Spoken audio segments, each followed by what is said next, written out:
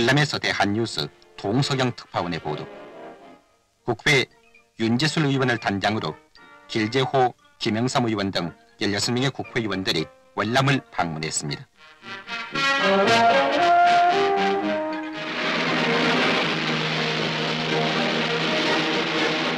주월 한국군의 작전 상황을 시찰하기 위해 현지를 돌아본 일행은 우리 용사들과 만나 노고를 지하하고 지금까지 용사들이 세운 공로는 아시아 평화를 위해 공헌했음은 물론이요 국외를 선양하는데 크게 이바지했다고 그 공로를 높이 평가했습니다.